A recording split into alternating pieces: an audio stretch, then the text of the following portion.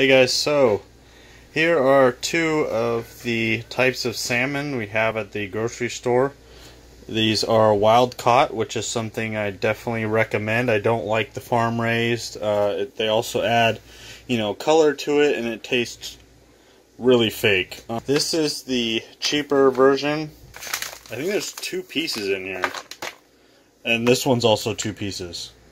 Always check the ingredients, make sure that it's only salmon because I noticed that some of them uh, will have other ingredients in them.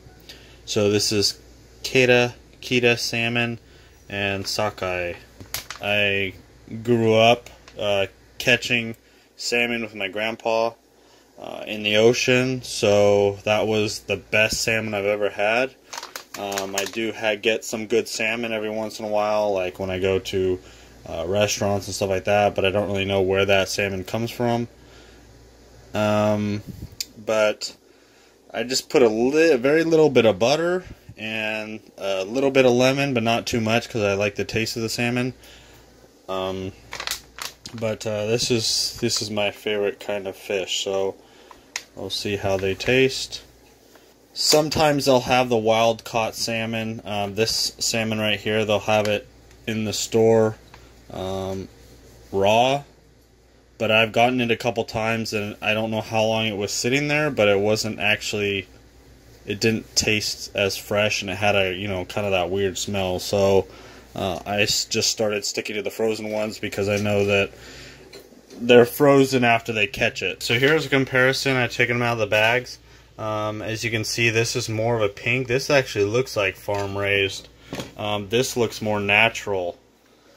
Uh, but uh, yeah, guess we'll find out. These def this one seems a little bit smaller, but it looks it looks it looks right. This one, this one's a little too pink,